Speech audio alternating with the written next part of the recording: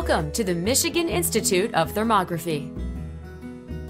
So you've done the research, you're interested, but just how easy is thermal imaging? Well, if you can order a latte, you can do this.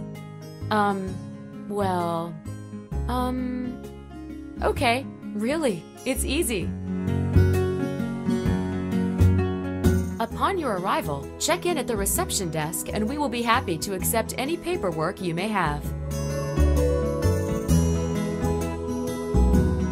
Follow the technician to the thermal imaging suite.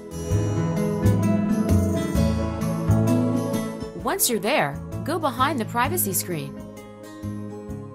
Put on the robe provided by the center. Psst, there are no bunny rabbits on the robe. Next, lower the robe to expose the top half of your body and wait 15 minutes to acclimate to the room temperature.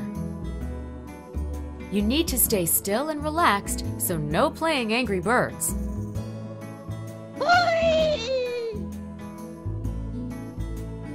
Then, with you on one side of the curtain and the technician on the other side, a series of pictures are taken. Remember, with thermal imaging, nothing contacts you, and it doesn't use any harmful radiation. They'll have you go through several poses.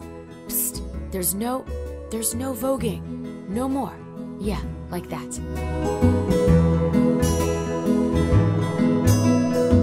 Then you're done. In about a week to 10 days, we'll contact you with the results.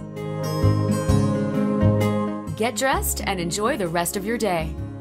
Or get a coffee. And order a vanilla, no foam, organic, extra hot, extra shot latte for me, eh?